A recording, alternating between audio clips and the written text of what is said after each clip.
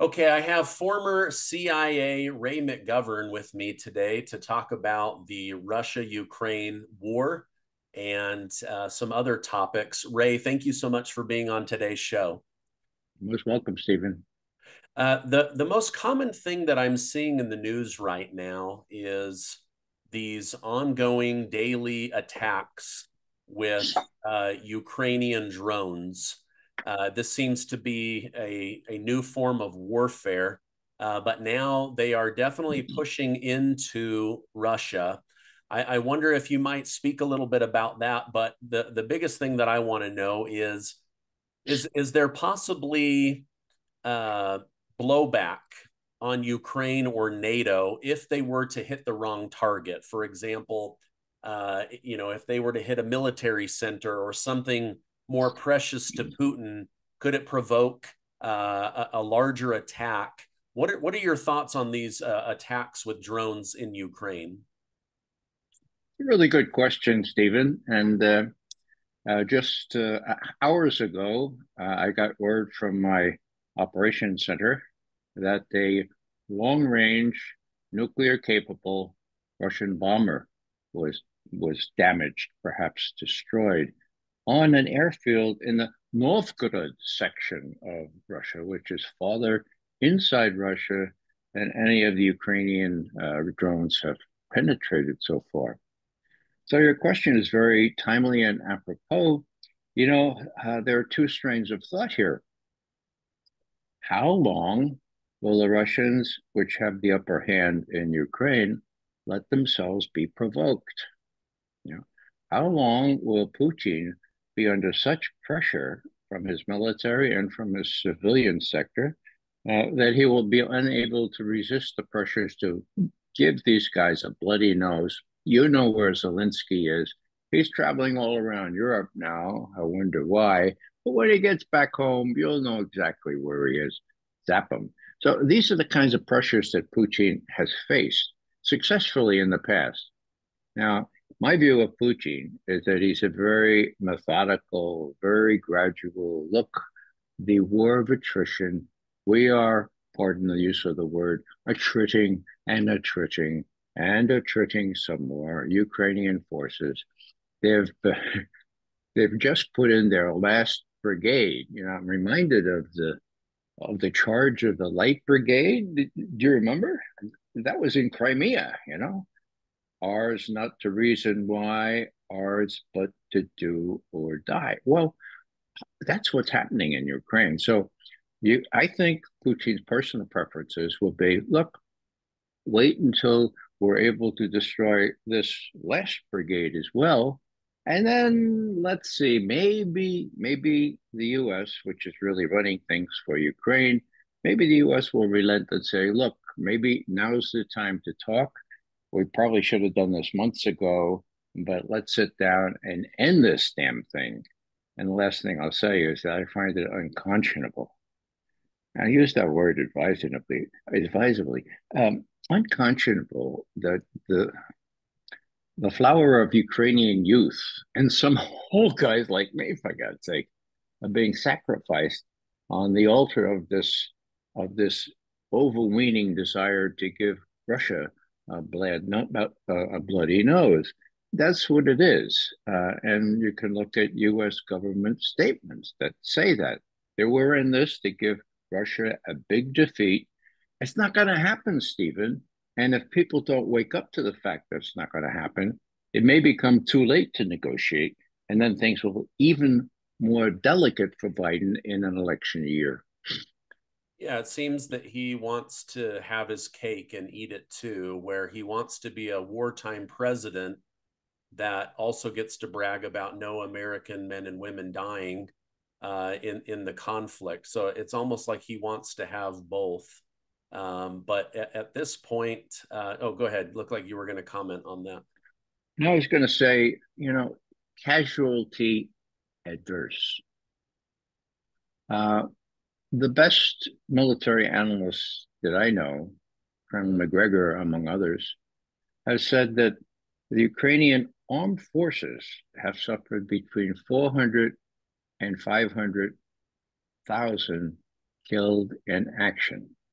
Now, even the Western press has been saying 500,000, but they say, well, it's both the Ukrainians and Russians. Uh, 500,000, whatever it is, okay? That's incredible. That's terrible, okay? And what the Western press is now saying is, oh, you know, the Ukrainian forces, they're kind of casualty. Uh, they're adverse to casualties. They're, they're growing sort of coward. What's the word? Casualty averse, they say. Well, my God, how many? Let's say it's only 300,000. Okay. How many more casualties do the Ukrainians have to suffer to be not called, incredibly, casualty adverse? I would just add this, and I think the Western press, the mainstream press, is what is are the people. I call them prostitutes in unpolite conversation. Those are the people who are casualty adverse. They don't want to say anything that might knock them off the air make or, or give them a different job other than uh, singing in the sweetness of uh, Vladimir Zelensky on on the tube or on you know on on uh, one of the stations TV. Yeah, well, I'll, I'll tell you exactly what the mainstream media is putting out. Just two days ago, the New York Times reported there's been over 300,000 casualties and deaths. However, Ukraine is winning because 120,000 of those have been Russians, while only 70,000 of those have been Ukrainians. So they're they're going just the opposite of what these military intel people are saying.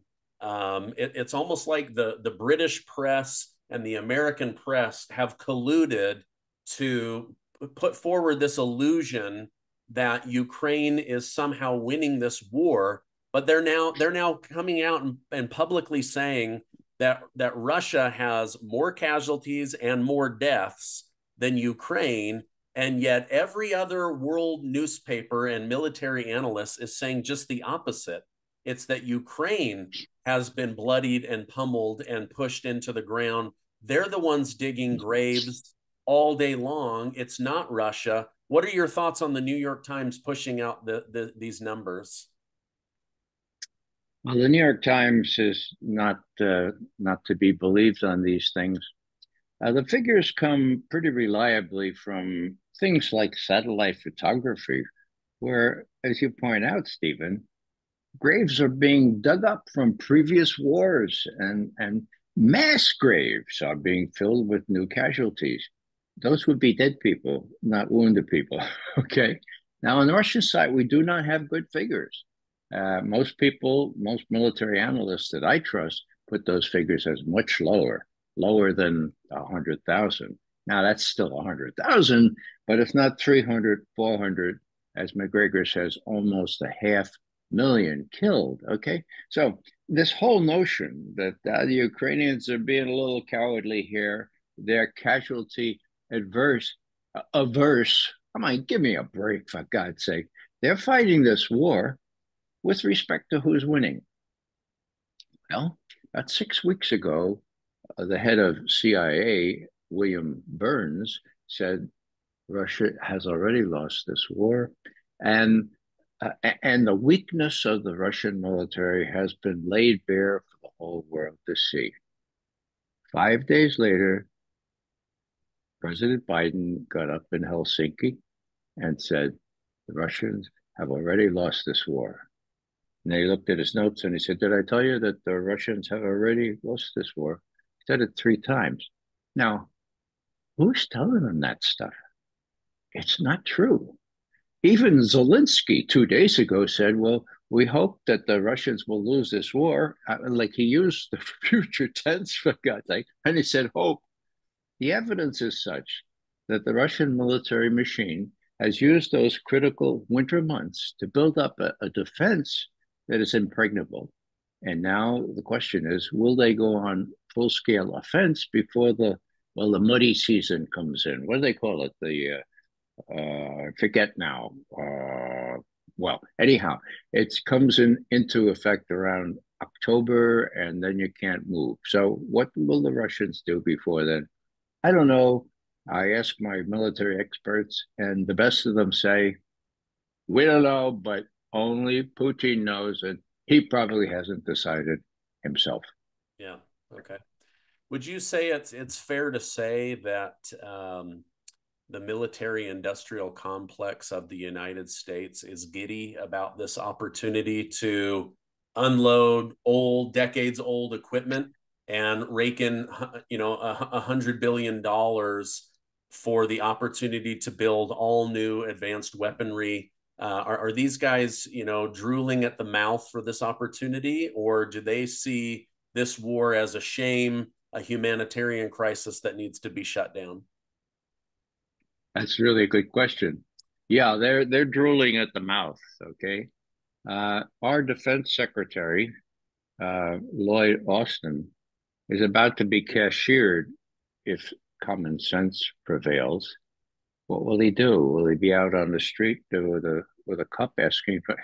He'll be able to go back to being on the board of Raytheon, which is one of the main defense companies, raking it in. Now, here's an interesting thing, Stephen. You know uh, Colonel Doug Macgregor. He's a really good friend of mine, and I turn to him for for things like this. I asked him a question just yesterday. I said, Doug, uh, the uh, the effectiveness of the most sophisticated U.S. weaponry that we're giving to Ukraine, uh, the effectiveness is nil. The Russians are zapping it in a most embarrassing way. They even have video. I mean, all these all these tanks that the Germans and the French and all these armored personnel characters. Are, I mean, hello. Are, let me let me ask you this, Colonel Macgregor. Um, is it possible that the military industrial complex, for once, would see a disincentive to continuing this war lest their sales to other countries of all this sophisticated stuff be curtailed or even disparaged. What about that? and he said, It's a good question, Ray, but look, they're giving Ukraine all the old stuff they have in stock. It's outmoded. They're working on new stuff. And what they'll say to these these folks that they want to sell the new stuff to us. oh, the stuff we have now is much better, much better than the stuff that the Russian military has uh, has been destroying in Ukraine. So it's a gravy train, Ray. No, it won't have any disincentive. So that's the question. That, that's the answer that I would give you, Stephen. It's really hard to to to to stomach, but money speaks, and these guys are making tons of money. They have no sense of. They have every sense of impunity. Look at what Lloyd Austin, where he comes from, and where he'll go back to. I mean, if anyone should have been able to know the military situation, uh, that uh, you know that in which the Americans not urged but required that Ukraine make this counteroffensive against all these odds with no air support, with no air. I mean, give me a break. Uh, anyone should have known that, including Lloyd Austin. Now he's going to keep his mouth shut what I hope is that General Milley, the chairman of the Joint Chiefs of Staff, he's on his way out. He's retiring. Maybe, just maybe, he'll say, you know, this is really terrible. We shouldn't require any more from young Ukrainians and old guys like me. Let's go to the negotiation negotiating table, which, as a matter of fact, he said half year ago, and let's work this damn thing out. That's the solution here. I hope Milley is well, is sturdy enough to finally admit that, look, I don't have to, I don't have to uh, repeat, regurgitate what CNN and MSNBC says anymore. I'm going to speak my mind uh, to prevent further carnage. The first purpose, the first principle of, for, of, of first aid, for God's sake, is stop the bleeding. The bleeding is going on with hundreds of Ukrainians being killed every day. Yeah, yeah, it's uh, a real humanitarian crisis at, at, at this point. Um, Jake Sullivan of the White House says that the F 16 jets will definitely get to Ukraine, uh, but not until everyone is trained and the United States feels it's, it's ready to give its blessing. Um, is Ukraine going to run out of bullets and bodies before these F 16s arrive? And have the Abram tanks we promised a year ago have they even arrived at this point? I, I have not read that they even arrived, uh, and now we're promising jets. Well, Stephen, as we veteran intelligence professionals for sanity as a group told President Biden on the 26th of January this year, all these new wep- weapons are going to arrive late to the party. Okay. They're going to be too late. So you've done your homework. You know exactly the, the right question to ask. Now, what is the military saying? Well, let's remember that the F 16 permission given by Biden was given out in the Far East when he learned uh, from Zelensky, oops, that Bakhmut uh, offensive, we lost. Sorry, we lost. There needed to be some sort of headline saying, oh, it's going to be all right. And Biden, alone with Sullivan, says, oh, yeah, we're going to give them F 16s.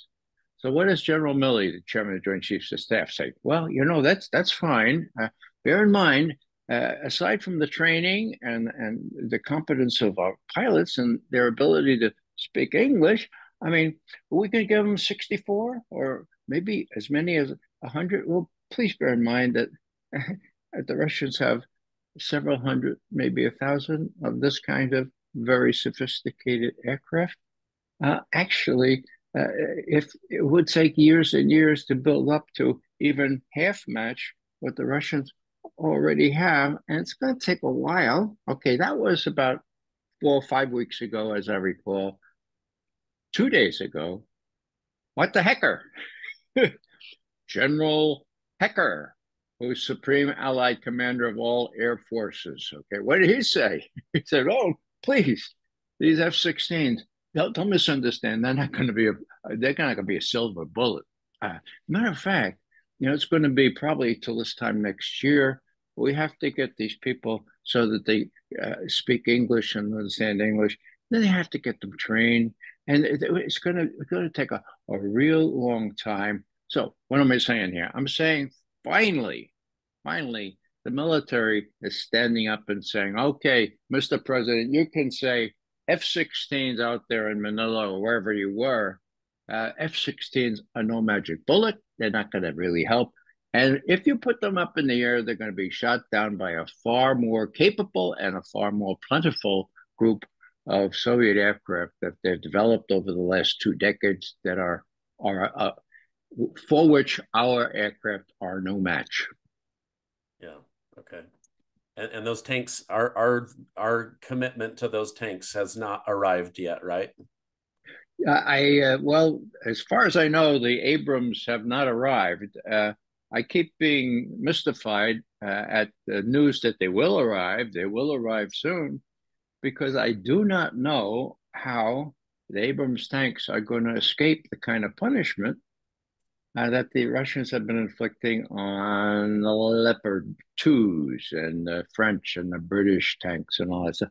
Uh, the the supremacy of intelligence, surveillance, and immediacy, which allows satellites and others to identify these things, pinpoint them, and then call on immediate retaliatory strike, is that it's the first time in warfare that this has been practiced, and the Russians are doing it all too well for Ukrainian purposes.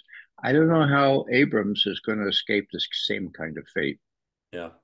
Well, I, I read today in the in the British news, the Sun, uh, that one of their fighter jet pilots found himself not in a dogfight, but basically uh, in, in a skirmish, for lack of a better word. Three Russian fighter jets against him. They're going back and forth.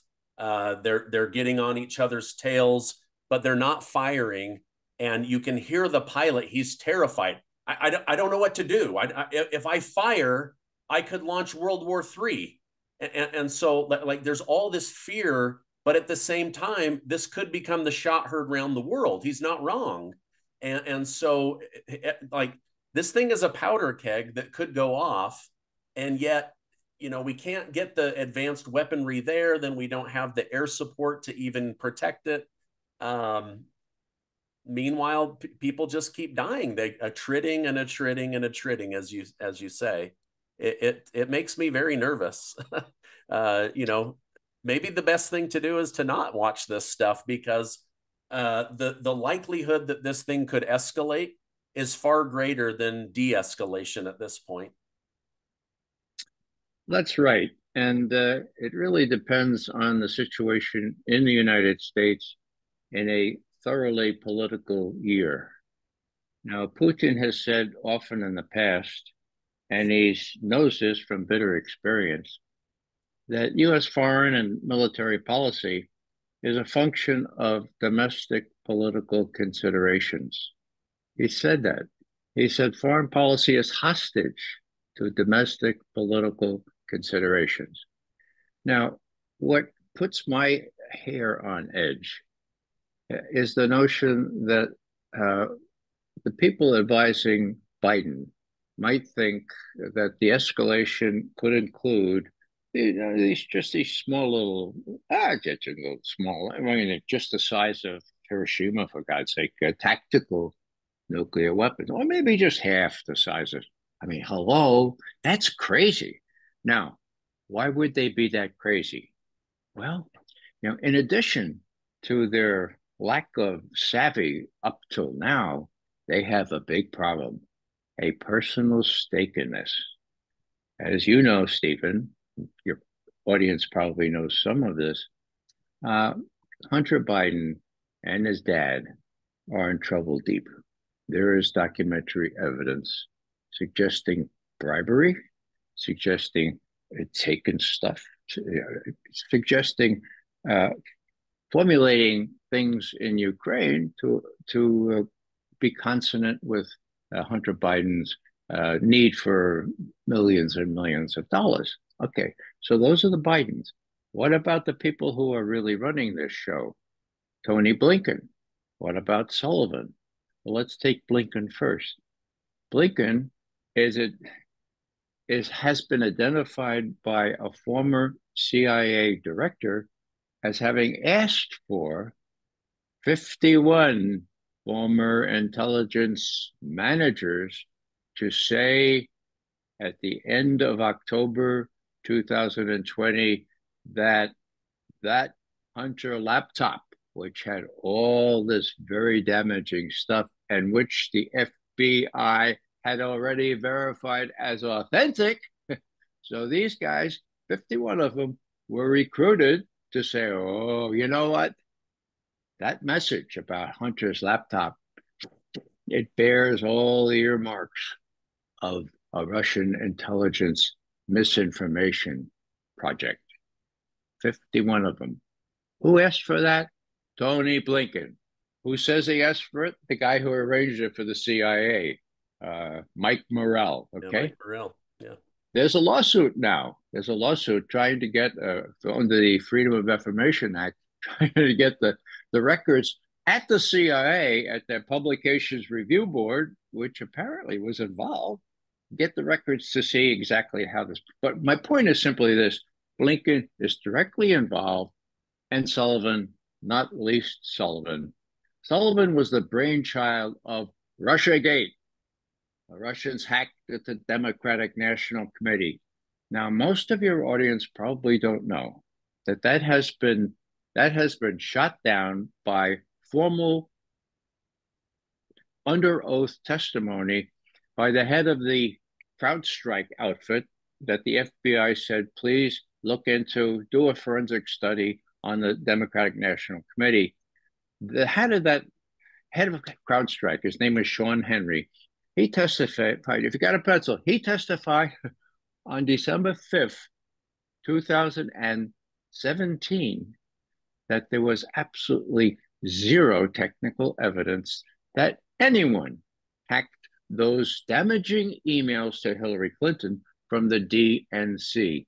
Zero evidence. Not the Russians, not anyone. Now, what happened to that?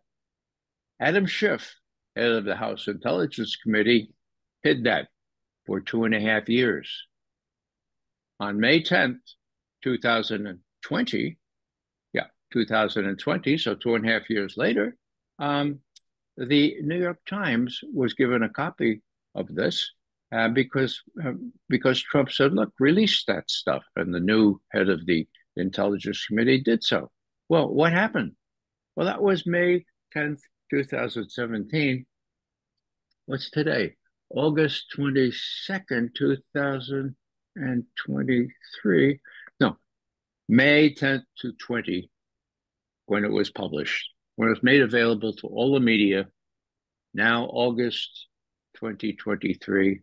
I just ask all your audience do they know that the head of CrowdStrike testified under oath that there was no Russian hacking, no other hacking, no outside hacking of the DNC. They probably don't know that because the New York Times has kept this secret. Now, uh, it's the evidence is out there. So what I'm saying is, put yourself put yourself in the position of Trump, of Hunter, not Trump, but Biden, Hunter, Hunter Biden, Joe Biden, Tony Sullivan, and Tony uh, Anthony Jake Sullivan, and then Tony Blinken. Okay, there's a personal stake in this. Now I'm thinking, trying to put myself in that position. My God, if Trump wins, you know, I'll end up in jail because the evidence is out there. And Trump is not the kind of guy now he was before, but he's not going to tread lightly on this. Uh, we did him in. Um, we almost prevented him from being elected in the first place, and then of course we did him in by by helping the CIA to lie about the authenticity of the laptop. And he's got to come and come and get us. So what's what's what's the implication here? Clearly, Joe Biden's got to win. Okay, now what will these guys do to make make it look like a win? My God, I'm afraid to tell you, but I do not rule out their use of tactical nuclear weapons, and the Russians have already made quite clear that if that happens, they will use them in return. Um, there's a book behind you. Uh, speaking of CIA collusion, uh, setting up a president, um, you know, doing horrible, awful things to people in charge that don't meet their uh, agenda or narrative. Um, I'm currently going through JFK and the Unspeakable. And uh, as I go through this, it is so well documented now that people within the CIA uh, were actively uh, trying to get JFK to attack Russia, to attack Cuba. He he would not buy into their narratives. They would try to blackmail him, set him up.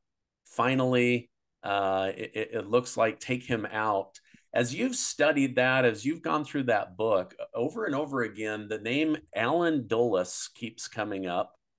The, the Washington, D.C. airport is named after this guy as if he was a hero. Uh, Kennedy hated him, believed he was not a great guy. And then ultimately, ultimately, it looks like he was a part, if not of the crime, certainly of the cover up, made sure to get himself on, on the Warren Commission um, what are what are your thoughts on the the the CIA colluding to uh, attack Kennedy while alive and then ultimately take his life? What are your thoughts on Allen Dulles? Well, Stephen, uh, first of all, um, there were Dulles brothers, right? One was the Secretary of State, one was Allen, the culprit that you're mentioning. Now, I would never fly out of Dulles Airport if it were named after the head of the CIA. It's named after his brother. The Secretary oh, his brother. Okay. So, okay. So I, I, make I make a, a, compromise for that. I'll fly out of Dulles anytime. I mean, the Secretary of State was just as bad. You can't believe the aura of of fear of the communists in those days and the Russians and the, the our military wanted to zap them, wanted to do a nuclear war against them. Well, well, we still could. We still had preeminence. How many Americans would die? probably only about 20 million. JFK walked out of that meeting and said, and they call us the sensible human race. So he was up against it and he tried very artfully to manage things. Um, number one, to get out of Vietnam. Now, people say, well, Kennedy sent 16,000 troops to Vietnam. He did do that. They were all advisory. They were told not to interfere there. And he decided this was crazy. Maxwell Taylor, his military assistant, said, Yeah, this is no good. We ought to get those guys out of here. And he issued two executive orders. You probably already came to that part of the book, uh, which would re- which would withdraw a thousand uh, American troops from South Vietnam by the end of 1963, the year that uh, Kennedy was killed, and the bulk of the rest of them by the end of 1965. Uh, the military was aghast. Uh, the conservative uh, news media, my my God, he, Kennedy's giving South Vietnam up to the communists, and before you know it, Indonesia and all of Southeast Asia, they will fall like dominoes. Okay, that's what he had to contend with. All right. Now, as far as Allen Dulles is concerned, he had his personal personal things really mean a lot in Washington if you're a bigwig. Okay, he advised Kennedy during uh, his first year in office that look, we have this Bay of Pig, Bay of Pigs operation, a bunch of uh, bunch of Cuban Cuban uh, forces led by and trained by us are going to invade Cuba, and Castro is going to fall, and everything's going to be really good. It'd be good for you politically too, Mister uh, Mister Kennedy. Now, John Kennedy looked at that and he said, "Where's this come from?" Oh, Mr. Kennedy, you should know that President Eisenhower before you approved this plan. So they put Kennedy on the spot, right? So what does he do? He says, This doesn't make a lot of sense to me, but if Eisenhower approved it, I just want to let you know that do not expect U.S. armed forces to be deployed if anybody gets into trouble when you land on the beach of the baby. You got that? Got that? No U.S. forces. Well, you know what happened. They needed help. There was no insurrection. Castro was winning. They appealed to John Kennedy. He said, I thought I told you guys not to appeal to me. Now, is that fiction? No, it's not fiction. A, a historian found on Allen Dulles's uh, desk after he died uh, coffee stained notes that said, when push comes to shove, when Kennedy sees that the whole enterprise, getting rid of Castro, is about to fail. He will not be able to resist politically our requests for support. That's that's right there. Okay. So Kennedy was enraged, right? He he let himself tell a neighbor up in Hyannisport, yeah, I'd like to I'd like to break the CIA up into a thousand pieces and scatter it to the wind. Now that didn't go over real well with the CIA guys anyhow. Well, let's not go into the actual assassination. I will tell you this that after the assassination, when LBJ, I've asked the author of this book, James Douglas, did L- LBJ know about the assassination? It's a big question, isn't it? Uh, his Secret Service folks knew something because they dissuaded Johnson from going to Chicago the week before where similar plans were being played. Well, uh, Jim says Jim is a really careful guy. He never exaggerates. He always has, you know, footnotes and stuff. And he said, I, I, my guess is that yeah, he kind of knew something was going to happen. Whether he knew chapter and verse, I don't know, but but uh, yeah, he probably did. So, what does LBJ do? Well, he needs to uh, people are saying, "My God, this, he was assassinated." Maybe the security services in the United States were involved. Maybe the FBI, or maybe the maybe the CIA was involved. And so, what does what does uh, Johnson do? He appoints he he appoints an august committee headed by former Chief Justice Earl Warren. And what does Warren do? I think at Johnson's suggestion, he said, "Well, now." We need somebody really well versed in all this stuff. Allen Dulles, former head of the CIA, since cashiered by Kennedy, I, let, why don't you come on the the, the uh, panel there? And if you look at those all those men, they're all white men, right? None of them know much about this. Allen Dulles ran the damn investigation. Okay. Yeah. Not only that, but Truman, Truman, who created the CIA, exactly a month after the assassination of John Kennedy. And we have his notes in those weeks before he wrote this. Exactly a month, he published an op ed in the Washington Post, which said, I didn't create the CIA to do anything but to give me untreated, substantive intelligence. They've gone astray here. And we better pull them back. That's a paraphrase, but that was his op ed. Guess what? In those days, and I was around in those days, there were two, sometimes three editions of the Washington Post. Oh, it appeared in the first edition. It slipped out of the second edition, the third edition. Nobody else touched it. The media, only in Independence, Missouri, they got a copy. it wasn't also published. Whoa, now isn't that interesting? So who controls the media? Who controlled the media way back then? And I'll give you one little personal experience. I entered the CIA in April 1963. In June, President Kennedy makes this incredible speech. Look, the Russians are human beings as well as, as us. Uh, they, they want a good future for their children. I don't want to have another Cuban Missile Crisis. Let's deal with them. Okay. And I'm thinking, wow, that's interesting. Okay. Now I go into a training course. I was with some pretty high level muckety mucks, most of them from the Ivy Leagues, right? And uh, so we're, we're exposed to all kinds of things, including covert action operators. Now, in October of 2000, of 1963, right in the midst of our training, uh, we were down at an off-site, okay, the farm. Can't tell you where that is, uh, classified. And in comes this well-introduced, tall fellow, fairly tall, and he's going to tell us about John Kennedy and Cuba. Well, it was a diatribe. I mean, John Kennedy came off as a treasonous, uh, pro-communist uh, guy that's just awful. Now, this is when Kennedy was still in office. He was a president. I remember thinking, my God, Ray. I mean, he works for John Kennedy just like I, I do, or I'm going to. What's going on here? You know, I think that was E. Howard Hunt. We, we weren't allowed to take, we were not to keep our notes, okay?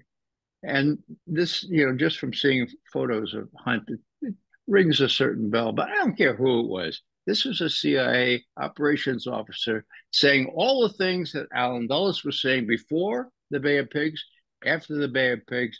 It's a little personal insight into how fervid, how how angry, and how willing to re- not only to retaliate but to save the world from Russian communism, uh, Southeast Asia, Vietnam, also how these people got together, the military, the CIA, parts of the FBI. J. Edgar Hoover knew about this, and even a couple people in Secret Service.